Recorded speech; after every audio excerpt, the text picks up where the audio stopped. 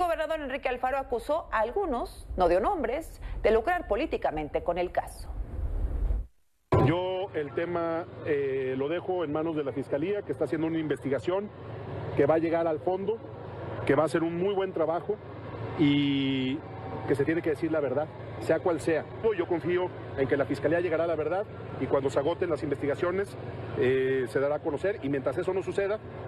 no comentaré más sobre el caso porque es un tema que la Fiscalía está llevando con cuidado y lo vamos a respaldar para que concluya bien su investigación.